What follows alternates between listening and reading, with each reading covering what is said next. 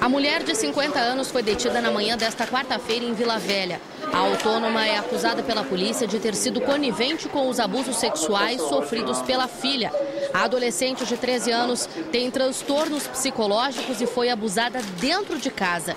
O autor da violência sexual foi o padrasto da menina, um lavrador de 41 anos que foi preso no mês passado. Laudos comprovaram que a menina foi abusada. A mãe foi presa depois que as investigações da polícia ligaram ela às agressões.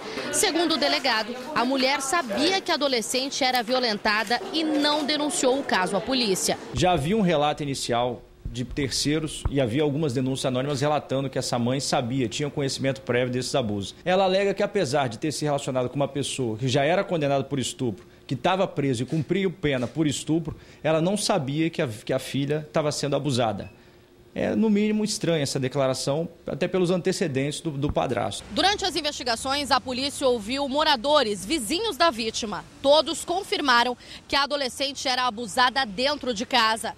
A vítima, em depoimento à polícia, chegou a contar que uma vez a mãe entrou na residência no momento em que ela estava sendo abusada pelo padrasto, mas a autônoma não fez nada para impedir a violência sexual. A autônoma alega que não sabia dos abusos e que não deixava a criança criança sozinha com ele. Eu saía com ela, nunca ficou sozinha não. Quando a senhora ia visitar o seu familiar lá na cadeia, a senhora sabia que ele estava preso por estupro?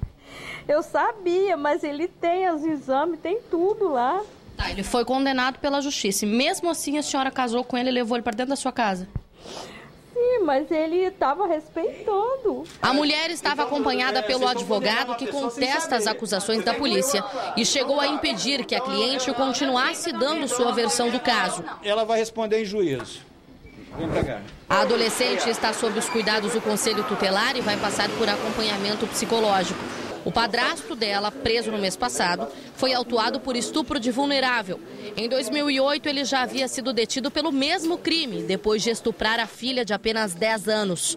Oito anos depois, ele saiu da cadeia e abusou da enteada e foi preso novamente.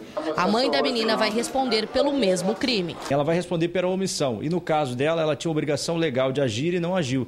Então, o Código Penal estabelece que ela vai responder pelo mesmo crime que o abusador.